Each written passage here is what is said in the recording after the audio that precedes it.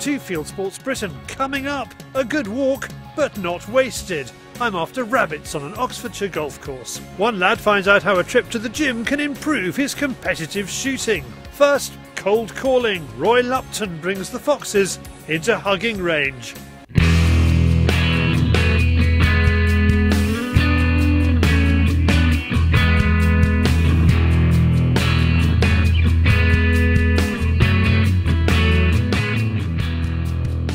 Pretty, pretty perfect for some foxing, according to Lord Lupton.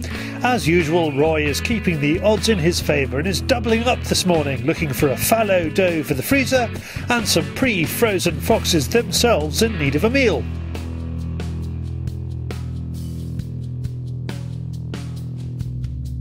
We're back out and uh, we're going to finish up our doe hopefully today and maybe pick up the odd fox and it is the perfect, I mean, absolutely perfect morning for calling foxes. The only way it could be any better is if we had a good covering of snow. But everything is uh, is white. We've had a, a, superb frost. It was about minus three, minus four last night. So stalking through the woods is going to be a bit crunchy. But for calling foxes this morning, if anybody's out there and they didn't get a meal last night, they are going to be incredibly hungry and should really give us a good response. Shooting with Roy is his old friend Andy. He's more used to shooting shotguns and shells than rifles and bullets, although he's got plenty of ammunition against the postman, whom he's known for more than 20 years. Andy does a lot of shotgun shooting, not a lot of rifle shooting, so it could go very badly. Sorry, Trying to give you confidence before we start. No, no Andy has done a bit of rifle shooting with me before. Um, but he's getting into the sport a lot more and he wants to get his own rifle. So hopefully we'll uh, get him on maybe a fox and a deer today. It's Fox Stop number one.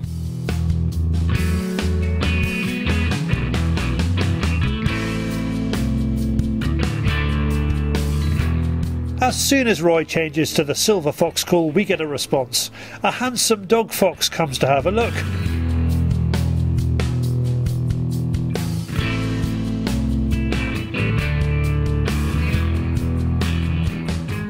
He stops 50 metres shy of Roy and 80 yards from Andy. Andy was given strict instructions about his arc of fire, and this fox ain't in it. We're then joined by a darker and smaller vixen. Roy keeps them in play for five minutes.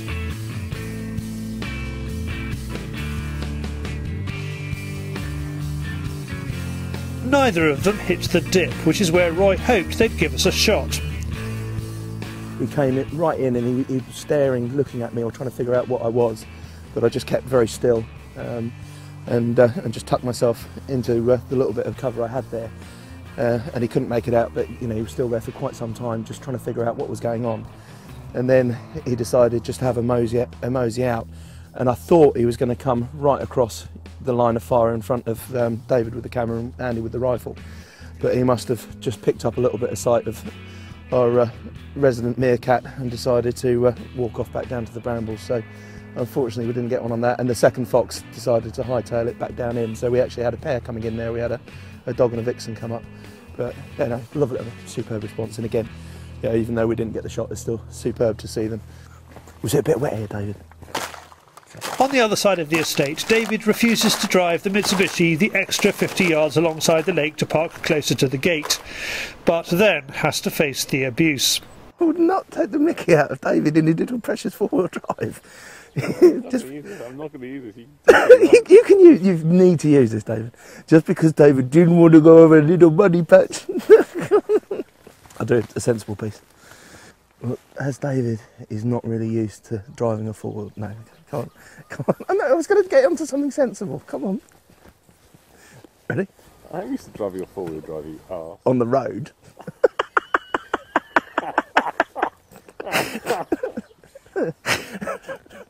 As David's not used to driving a four-wheel drive off-road, he decided that it looked a little bit sticky here. So we've now got to try and stalk up to a group of deer through probably the worst conditions you could possibly imagine there's just a very fine layer of ice on top of this very muddy path. it's just absolutely terrible. So if we do get into anything, it is going to be a miracle. Let's go have a look.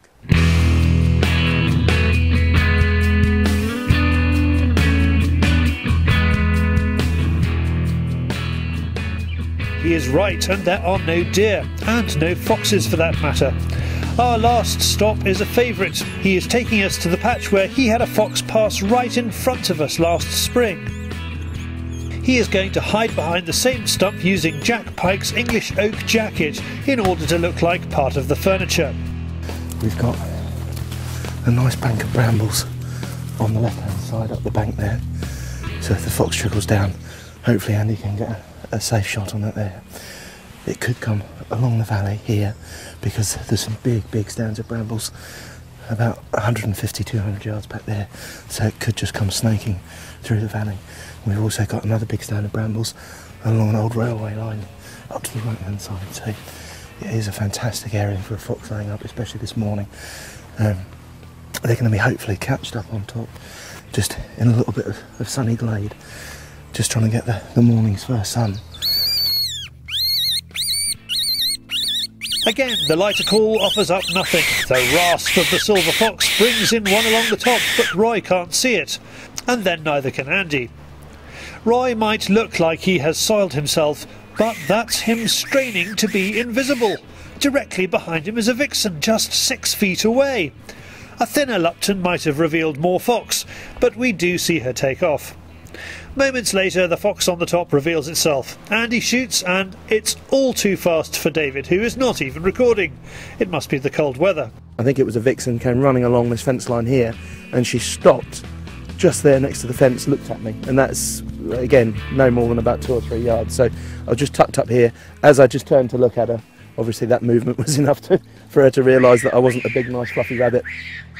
Unfortunately, David's used to getting half an hour warning before a fox comes in with me, with me talking to him and pointing it out. So um, unfortunately, I don't think David got that one on camera. So uh, it's either that or Andy was a bit premature. Take from it what you will. But at least we got one. Andy is sent to retrieve his fox. The ex high jumper chooses not to execute a Fosbury flop, but gracefully clears the deer fencing. it will be.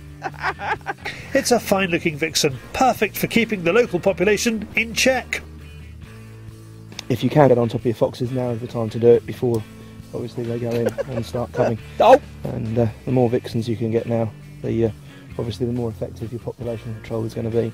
And we know we've got a lot more foxes in this valley, and it's often the way, especially when you've got a railway line going through a piece of land, and you've got um, towns reasonably close.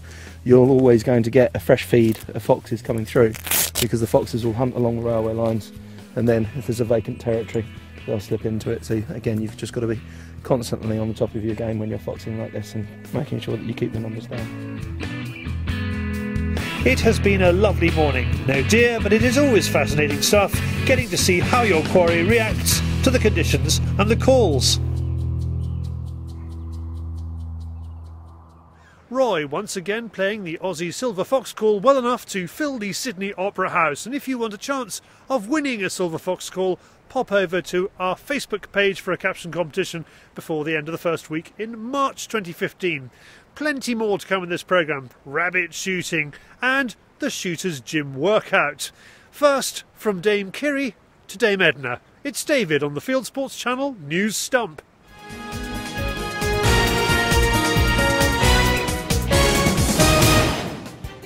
This is Field Sports Channel News. Aussie fast bowler Glenn McGrath says he deeply regrets hunting in Zimbabwe. There are pictures online of the legendary Australian bowler with buffalo and hyenas, as well as two elephant tusks.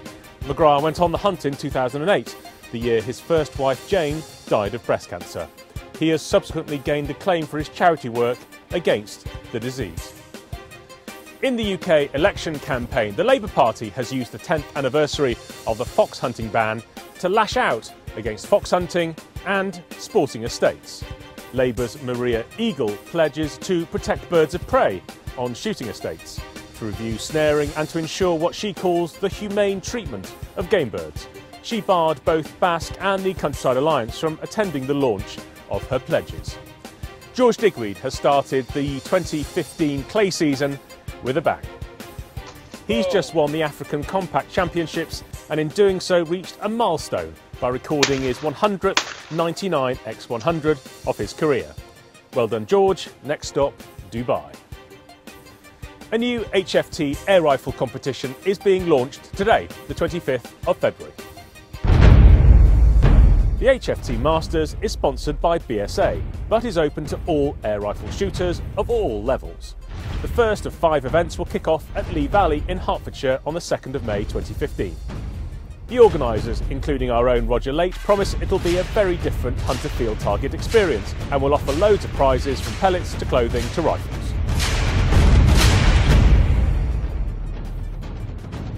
For more information, please go to hftmasters.net.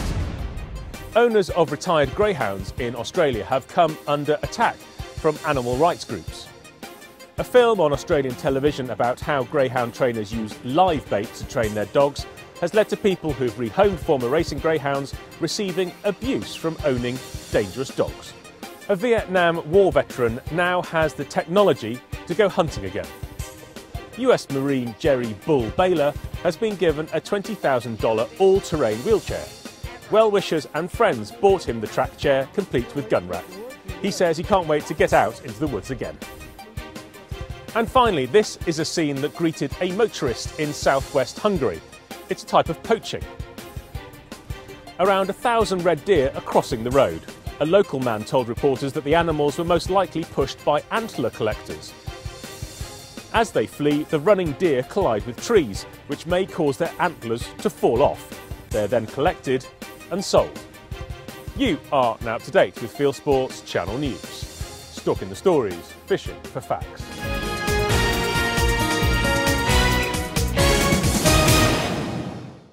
Thank you, David. Now, last week we met up with the night vision guys from Scott Country, and this week they've taken an ad.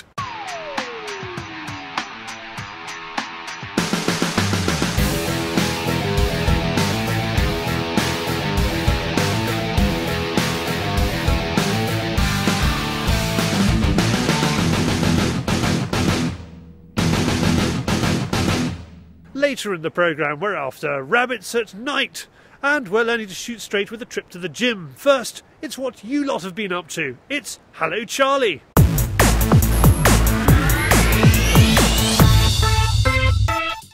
Hello, Charlie. It's me again. Pigeon shooting this time. My daddy said let on his good luck, Charlie. Hello Charlie, this is Greg and Rich from Devon. Just been out for a night lamping on the Bonnie, got ourselves a good bag there. Charlie, it's Lee from Nottingham here. Just travelled up to South Yorkshire, see what I can do on some decoys. Pretty cold at the moment, but hopefully it'll warm up later. Cheers! Jamie and Irish John here. We had another successful day on the rabbits. We had 31 today with the ferrets. Hello, Charlie. Bit of rabbit hawking on the North Pennines here. One each at the minute. I'm Paul, that's Steve. Hello.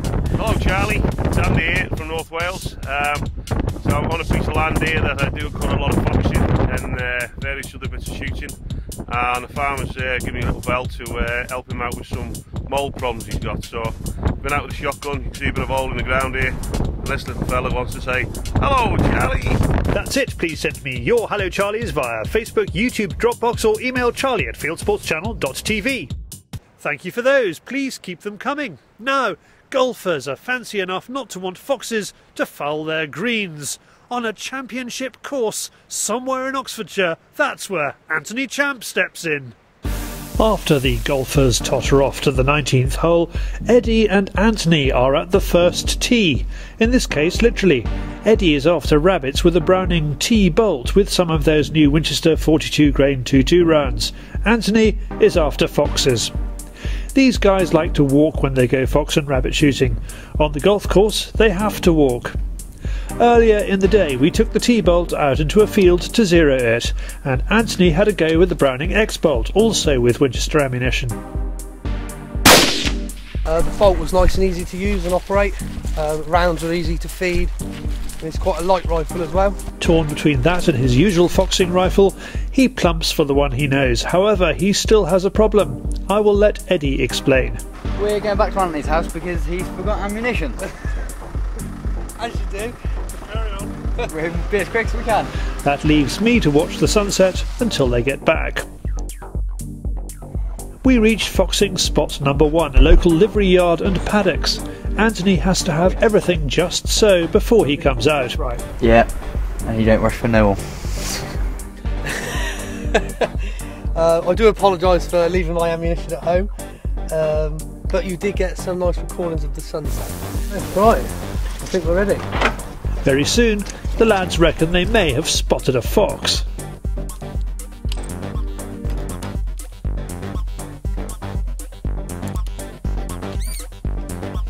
Saw, saw something we thought was a fox. It's actually, on closer inspection, it was a muntjac. Um, but it was actually in the brambles, so we couldn't see it properly. So I just had a quick look through the scope. Safety was still on, um, and we discovered it was a muntjac. We don't want to be shooting them at night. There, there are a lot around here. Hell of a There lot. a lot Um, especially on the bit of ground we're going to later. It's infested with muntjac. There's absolutely loads of them. But, um, obviously, you can't shoot them at night, so. We stop at a tree stump and Anthony starts calling.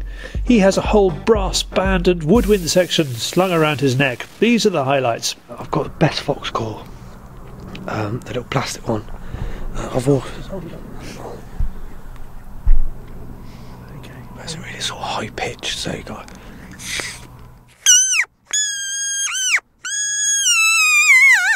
Uh, I've got the best fox call stainless. So we've got.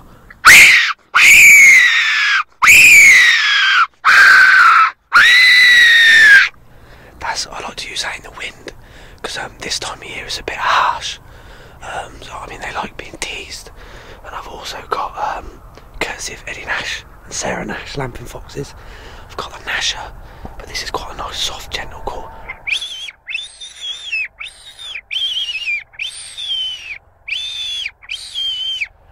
But um, we've had really, really good results with this. Um, sort of they'll come 200 yards with the other calls, and then we'll just literally tease them in with this, and then like, normally nine times out of ten, if they stop 200 yards, they'll come in with this, just really gentle, sort of like constant. I think that light from the school is helping us really. Nothing doing here, so it's time to make house to house inquiries. Well, den to den. This is actually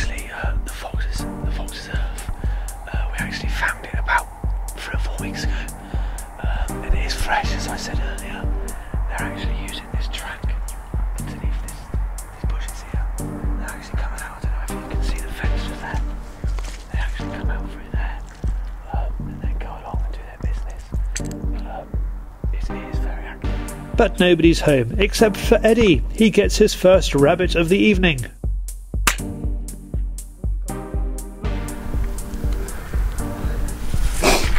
Oh no, you're in the house. No, it's awful.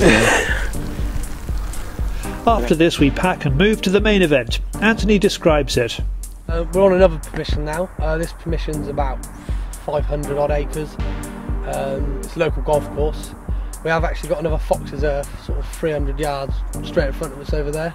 Um, I'm not sure whether it's active, but um, I know it's there. So hopefully one will pop out for us. We settle down under Orion the Hunter for another fox calling session. Anthony's lips are going to be blue. Meanwhile, the countryside around lights up red and green. Another kit item the lads take seriously are the lamps. Uh, these are the Nightmaster 800s. Uh, we've got one in, one in red, then we've got one in green. There. So that's, that's, that's Fox Stop, Fox Go, is that right? Pretty much. Normally they just go. but um, yeah, simply I use the green um, if I know they're not lamp shy. Um, we have got a white one kicking around somewhere, but I don't actually know what that is. Um, and obviously the red for the, the shy ones that don't sit there anyway. There are lots of rabbits, but you have to be quick. Eddie eventually gets another one. Then he gets two for the price of one. Everyone celebrates a successful outing in a different way. Eddie, after he has shot a rabbit, now he likes to do impressions. Sweet Jesus. Come here, Jesse. Smell my fingers. Oh no. No fox for Anthony, so that's it. He refuses to do his dance. I, I have to do it after though, because it, it, depends what mood I'm in. For those of you who missed it on Field Sports Channel News a few weeks ago, here it is again. Nicked off Facebook kind of lamping foxes Got Talent.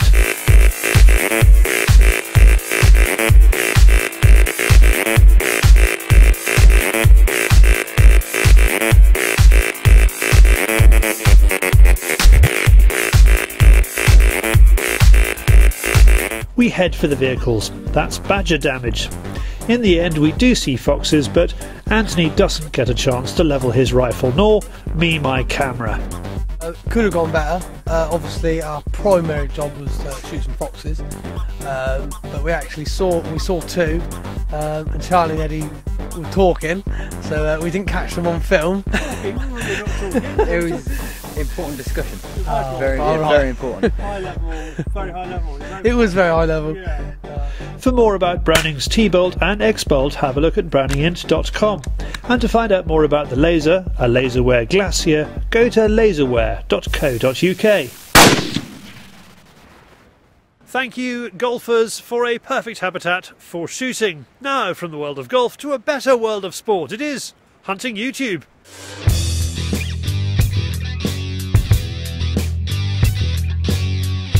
This is Hunting YouTube, which aims to show the best hunting and shooting videos that YouTube has to offer. Let's start with the Continentals, where the current hunting film trend is long, dreamy shots with lots of depth of field and epic music. Halali Magazine TV is on what we Brits would call a mixed, driven and rough day in the lower Rhine region of Germany, but it's a lot better than that. Even if you don't speak German, this is a great film to watch just for the comparisons with your own driven shooting. Browning's Rifles Department sends one of its own to Scotland for a deer stalking film. There's a moment of suspense in a hunting film when the shooter is lined up, the animal is unaware, but the trigger remains as yet unsqueezed. Browning's new X-Bolt SF promo film manages to make this moment last a full five minutes. Those on the continent who don't own a DSLR and can't afford a cameraman have a GoPro like this film of pigeon shooting in Belgium in February sent to me by viewer Leon van Heesbroek. Thank you, Leon. The dreamy DSLR films are a lot easier on the eye than action films such as this, but you have to give it to Hunting Game Working Dogs for trying. This is a dog called Panther catching a hare on the YouTube channel that goes with a new Long Dog forum at huntgameworkdogs.com. Even speedier and just as hard to focus on is Peach the Peregrine, who catches a Drake Gadwall in this film. Started last summer, Get Foxed TV is brought to you by UK Fox Call supplier Best Fox Call. Here they are foxing in Dorset. Staying on foxes, and the lambing season is underway across large parts of the UK. The films from long distance specialist 260 Rips get better and better. In this one, he is using a 223 and N750 night vision. And finally, winner of the ratings prize in the last week is Idaho Archery Hunt by Hushin with Laver. Great YouTuber, great film, and this is probably his top hunt of the year. That's it for this week. If you have a YouTube film you would like us to pop into the weekly top 8, send it in via YouTube or email me the link charlie at fieldsportschannel.tv. If you didn't like any of those, why not have a look at Airheads with top HFT shot Roger Late. He's showing us around Pete's Airgun Farm in Essex and shooting the new BSA Gold Star SE. We have good Phil hunting with Mr. Bryce clearing up some doves from above, and Tell tells us the tastiest way to cook his favourite game, Grey Squirrel. School's challenge this week is all about how shooters can improve their chances by going to the gym, and we have our very own Cindy Crawford Nigel helping one of the shooting stars of tomorrow, Tom, to get fit for shooting. And you, you can join in too.